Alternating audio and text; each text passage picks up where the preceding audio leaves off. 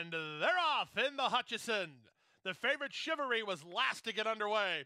It was a great start out wide for Smash Factor, but here's King Snake keyed up and moving to challenge. These two move two ahead of Our Nation on Parade, who's in a good spot early. He's third. Peruvian Boy at the inside with Chivalry three wide, and then it's a gap of five or six to the trailer with Verve.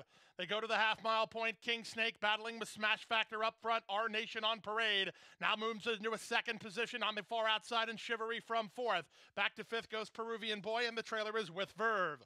Around the far turn they go. Smash Factor, three furlongs from home and a neck on top.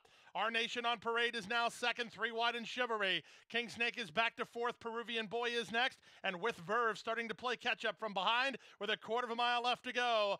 Off the turn now and in the stretch drive with Smash Factor still in narrow lead. Our Nation on Parade and Paco right up alongside now second. Down the center and with Verve with a late run with Chivalry. There's an eighth of a mile to go. With Verve is really rolling down the center and he's trying to track down these leaders in a big number. It's still in front. Smash Factor, Our Nation on Parade with Verve and Chivalry. Who do you like here? With Verve surging, with Verve's in time.